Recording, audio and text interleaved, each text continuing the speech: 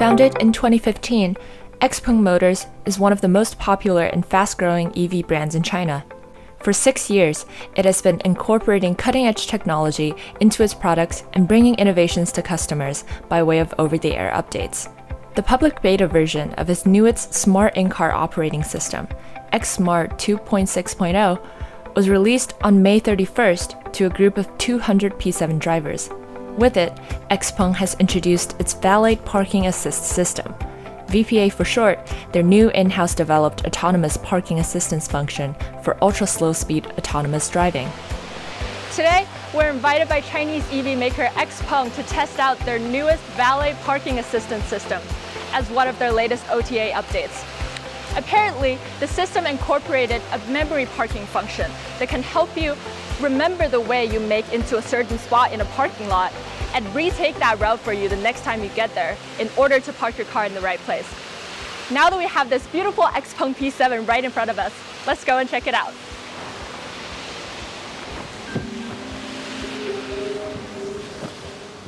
The VPA performs memory based auto parking that aims to enhance convenience and reduce the chances of accidents. Combining simultaneous localization and mapping and semantic mapping technologies, it could be the first mass produced last mile parking function that does not rely on modifications of the parking lot. To enable the system, the driver has to first watch a guidance video and pass a safety test. Once the VPA is turned on from the driving assist menu, it is ready to operate at the entrance of a parking lot.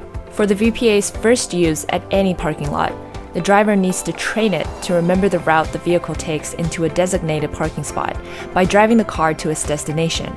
After the car is parked, the complete route is memorized.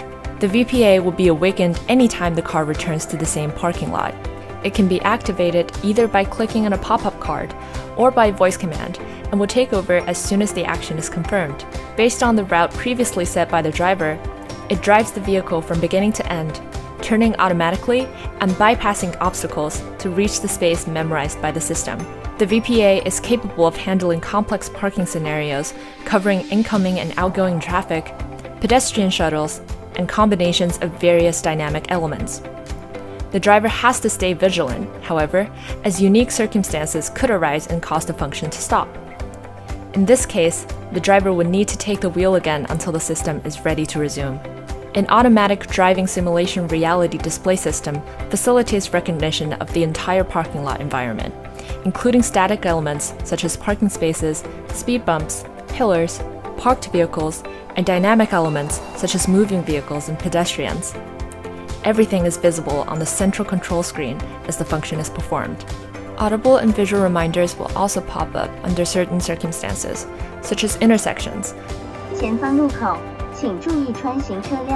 to give the driver a better sense of the car's environment and prepare them for subsequent actions.